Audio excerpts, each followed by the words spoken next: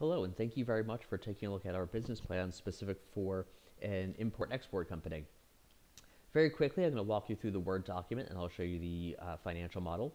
It has an automated table of contents, so as you add your own information, these page numbers will automatically update for you. It starts with the executive summary outlining the operations of the import-export business.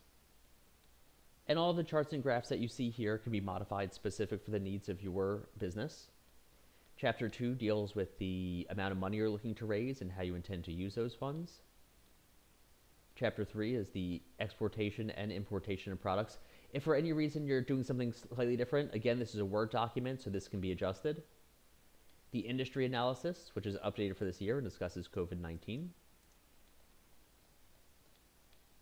The marketing plan, uh, and there's a standalone 24 page marketing plan that comes along with this overview of your organization, headcount and payroll, and of course the financial plan, which is done over a three-year period and has a profit and loss statement, cash flow analysis, balance sheet, break-even analysis and business ratios, and then year one, we break the profit and loss down monthly,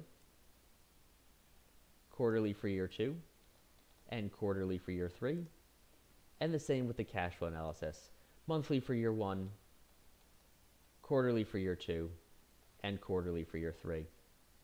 And here's the financial model. Uh, very easy to use. All the instructions are on each tab. Uh, this one you, uh, outlines the amount of money you're looking to raise and how you intend to use it. Your revenue centers, and you can add additional ones as necessary. Positions and payroll, your operating expenses.